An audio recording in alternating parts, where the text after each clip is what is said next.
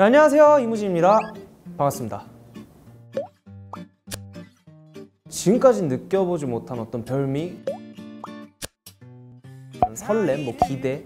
이런 것들보다 훨씬 앞섰던 게 일단 당황이었어요. 그냥 솔직히 말씀드리면 저도 아직 잘 모르겠습니다. 상황이 한번 닥쳐봐야 그제서야 좀 들지 않을까 싶습니다